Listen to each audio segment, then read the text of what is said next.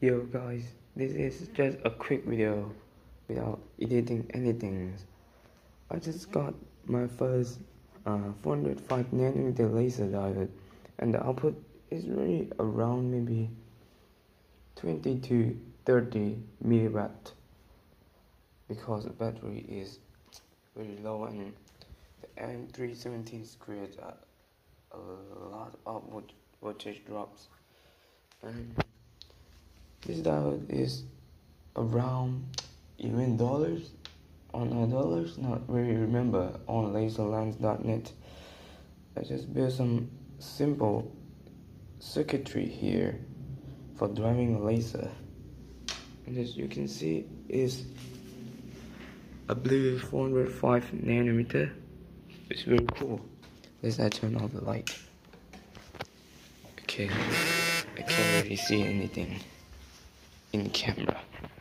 But um I don't know why I, I can spot a beam but it's a little bit but in real life I can easily see the beam. You, you can see my hand is have something of scattering through air maybe or maybe in the lens itself but it's very small point. It's actually small point. I think if it's running at around 200 milliwatt it can make my hand feel pretty warm and can light a match at this distance and this is very far. So you can see right there spot. Is this is very small spot. So let's walk toward to the light source our laser.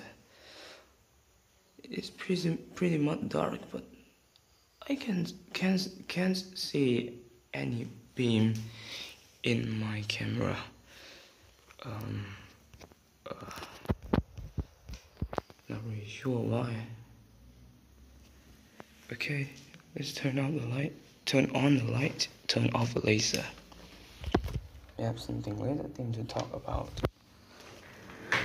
Um, first of all, I'm using this normal battery so my phone is very hot the camera is shut down. I come back later. Here's a normal battery but the voltage is around um 8.4 8.5 volt. And here I have had um LM317 with a 5 ohm 5 watt uh, ceramic resistor which and this switch controlling on off is support to 20 amps and here is a laser I actually got this hood from this crappy cheap um, violet laser but I just changed a little bit. I put a 12 millimeter housing with this um, three elements lens. And it's very powerful but not not but I think it's worth for two dollars of this crappy thing from from China. And this is a crappy setup. Maybe later I can get a new like this one change diode to this thing and put a battery. This one is actually using a 2 of double A bat oh triple A battery. I use this one a Panasonic but on the uh, point of mod on maybe next project I would like to use uh, 140 battery instead of this thing because I can get around maybe 6 7.4 volt.